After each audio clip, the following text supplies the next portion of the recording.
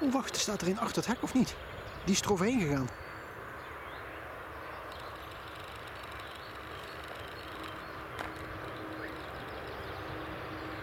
Dit is wel gaaf.